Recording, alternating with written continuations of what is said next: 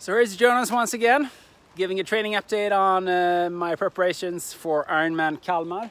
Just finishing a short run on my recovery day, eating wild raspberries just outside my house. Feels good.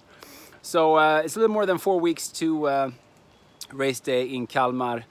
And um, although I felt that I haven't had enough time, it's uh, it's pretty obvious that I've been preparing for this since, I mean, I don't know, November, December, at least in my mind. So it's, uh, it'll be good when race day comes and uh, get all this training and uh, preparation done and over with and get back to somewhat of a normal 45 year old life again, whatever that is. Anyway, over the past five days, training has been going very well.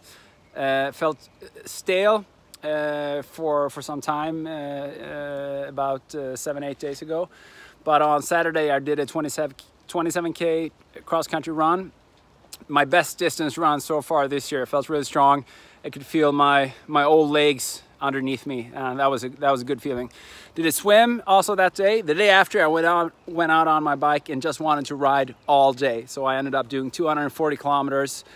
Uh, it got hard and then though it was really warm. It's been very very warm. This is this is the first rain that we're having, and it's it's, it's still somewhat of a tropical feeling. It's very very unswedishy weather, but who are we to complain? I'm not for sure. I love this weather. Uh, had so many training sessions and so many summers in uh, in cold and very bleak conditions.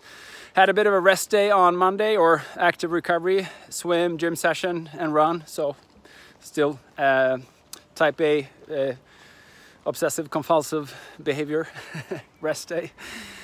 Uh, yesterday was a great day. Did a uh, 11k run interval session and a uh, hard 87k bike ride with uh, my training friend Åsa Lundström. Uh, that was that was very good. Had a had a decent swim also in the in the afternoon. Had the same sort of recovery day today. Swim, swim, gym, massage, and uh, short short evening run it's it's funny how even rest days sort of take up all day.